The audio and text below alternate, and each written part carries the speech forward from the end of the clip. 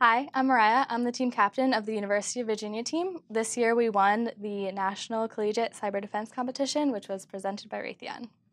UVA is like a home for me now, um, and especially in the computer science department. All of the other students and then the professors have been so welcoming and so willing to teach and to learn from each other that it's created a great environment and it's really kind of solidified that I want to pursue computer science and how much I enjoy it, especially within the department.